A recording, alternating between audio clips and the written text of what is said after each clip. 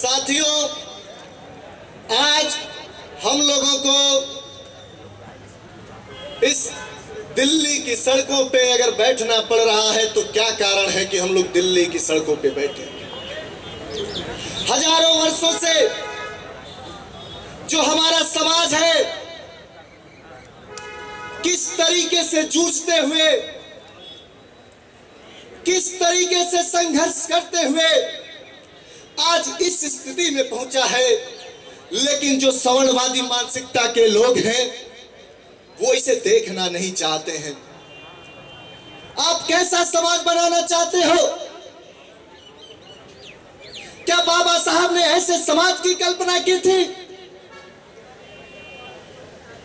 क्या लोहिया ने ऐसे समाज की कल्पना की थी?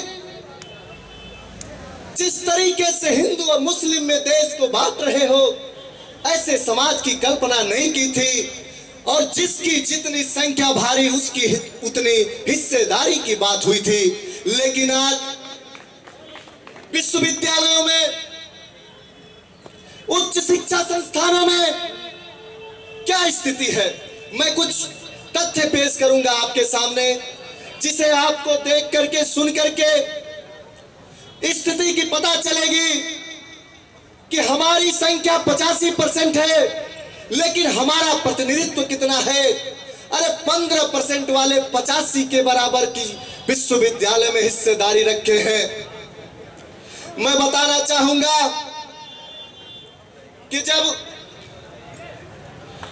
आरक्षण लागू हुआ उच्च संस्थानों में तो उन्नीस संतानवे में एस सी एस टी आरक्षण के तहत उच्च संस्थानों में आरक्षण प्रस्तुत की गई। वैसे ही 2007 में स्थिति आई ओबीसी के पक्ष में, लेकिन कितनी स्थिति, कब तक क्या हुई, उस पर आप मुझे बता दो। मैं बताना चाहूँगा कि जब सामाजिक प्रतिनिधित्व की बात होती है, हम लोगों के बीच में, अली अनवर साहब जी आए हैं। हम इनका मंच के माध्यम से हार्दिक स्वागत और अभिनंदन करते हैं। हम लोगों के बीच में सामाजिक न्याय के योद्धा प्रोफेसर रतन लाल सर हैं। सबका हार्दिक स्वागत और अभिनंदन करते हैं। मैं सामाजिक प्रतिनिधित्व की बात कर रहा था। 1931 में जाति जनगणना होती है। उसमें जब संख्या की बात हुई तो आंकड़ों के हिसाब से 15 परसेंट एस सी साढ़े सात परसेंट एस टी और बावन परसेंट ओबीसी की बात हुई। लेकिन साथियों, कुल मिला के ये सब पचासी परसेंट तक की बात पहुँची। लेकिन हुआ क्या? सत्ता और शासन में बैठे लोग किस तरीके से अपना डिफाइन किए? संविधान में प्रतिनिधित्व हमारा सबसे ज़्यादा है। संविधान लिखने वाला हमारे लोग, देश को आज़ादी दिलाने वाले हमारे लोग, लेकिन उच्च शिक्षा में प्रतिनिधित्व किसका, इस पे सवाल है। साथियों, मैं बताना चाह रहा था कि 15 प्रतिशत आबादी वाले जो एससी है, उसका प्रतिनिधित्व सात परसेंट सात परसेंट है। जो साढ़े सात परसेंट एस है, उसका प्रतिनिधित्व दो दशमलव एक प्रतिशत है और जो बावन से चौवन प्रतिशत ओबीसी का प्रतिनिधित्व है, मैं उसका बात बता देना चाहता हूँ, वो पाँच प्रतिशत है मेरे साथियों। अरे ये क्या है? आप संख्या के हिसाब से देख लो। सत्ता में हम बैठाते हैं शासन में हम बैठाते हैं, लेकिन मेरा प्रतिनिधित्व कहाँ है? इस पे सवाल करने हम आए हैं। इस पे सवाल करने आए हैं। साथियों, जब रोस्टर की बात आती है तो रोस्टर पे हम बताना चाहेंगे कि किस तरीके से ये रोस्टर का खेल खेला गया। दलित पिछड़े अल्पसंख्यक माइनॉरिटीज के लोगों के साथ किस तरीके का छलावा किया गया, मैं इसको बताना चाहता हूँ। अगर रोस्टर की प्रक्रिया जो चल रही थी, विश्वविद्यालय को, शिक्षण संस्थान को, अगर एक तुम संस्थान मान करके विश्वविद्यालय में अगर रोस्टर प्रक्रिया लागू किए थे तो इस प्रकार भागीदारी थी कि 200 तक पॉइंट चलते थे, जिसमें से हर चौथा ओबीसी होता था, हर सातवां एससी होता था, हर आठवां ओबीसी होता था, फिर बारहवां ओबीसी होता था, फिर एससी होता था, फिर चौदहवां एसटी होता था, लेकिन खेल क्या खेला गया मेरे साथियों? खेल किस तरीके से खेला गया मैं इसे बताना चाहता हूँ कि विश्वविद्यालय को यूनिट न मान करके, कॉलेज को यूनिट न मार करके, एक डिपार्टमेंट को यूनिट माना गया और उसमें एक एक सीट निकाल करके बातें की गई कि इस तरीके से अगर प्रोफेसरों की नियुक्ति होगी, रीडरों की नियुक्ति होगी तो जो सामाजिक न्याय के पसंद लोग हैं, वो विश्वविद्यालय में आ नहीं पाएँगे, सवाल नहीं उठा पाएँगे। देश में जिस तरीके से गूँगी बहरी सरकार चल रही है, उसके पीछे सारे लोग चलने का काम करेंगे। नहीं। अब ऐसा नहीं होगा।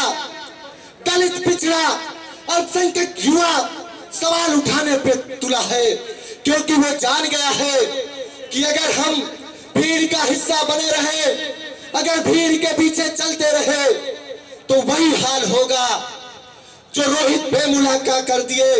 रोहित बेमुला एक मुखर व्यक्ति था।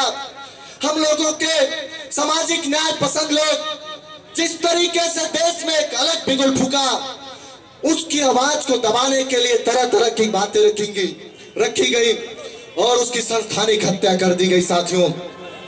इसी तेरह पॉइंट जो लागू किया गया अभी बीएचयू का एक छात्र इलाहाबाद उच्च न्यायालय में रिटायर करता है और उसमें इस प्रतिनिधित्व की बात करता है तो उच्च न्यायालय भी निर्णय देता है।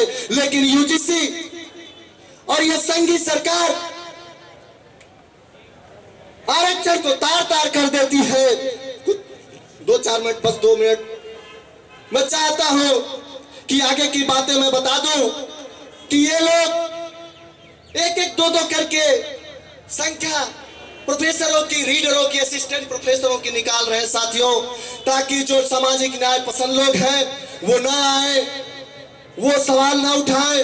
विश्वविद्यालय में जो ठेकेदारी चल रही है, वो चलती रहे, और विश्वविद्यालय को कहीं ना कहीं निजी संस्थानों के रूप में ये बदलना चाहते हैं। किस तरीके से ये काम कर रहे हैं, आप सबको पता है। उसी तरीके से अब जब चौदह सीटें हुआ करती तो किस तरीके से साठ फाल आता, किस तरीके से बैकलागों की भर्ती आती, लेकिन इन सबको छोड़ करके ये लोग डिपार्टमेंट वाइज एक एक सीट एक एक सीट निकालने का प्रयास कर रहे हैं।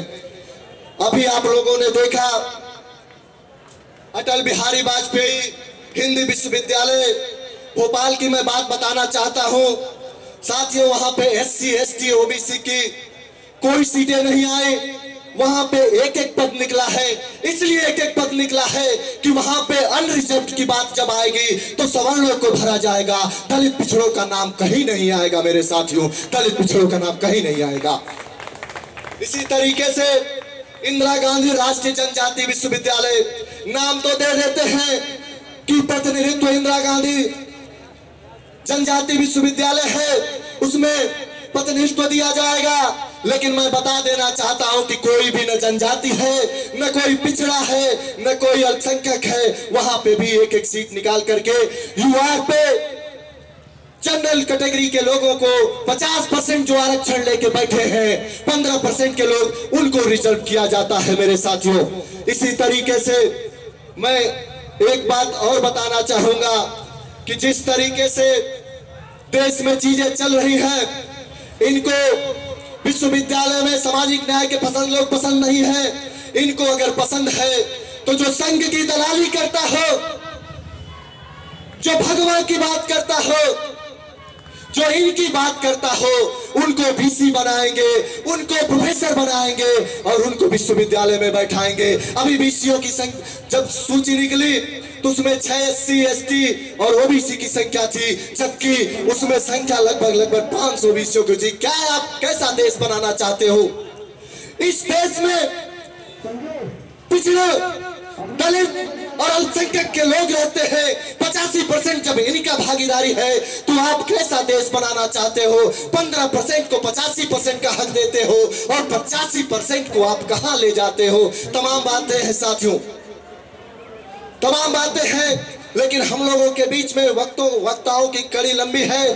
तो मैं इस, आज जो उच्च शिक्षा में प्रतिनिधित्व के सवाल पे इकट्ठा हुए हैं, इसको यही नहीं समाप्त करना है।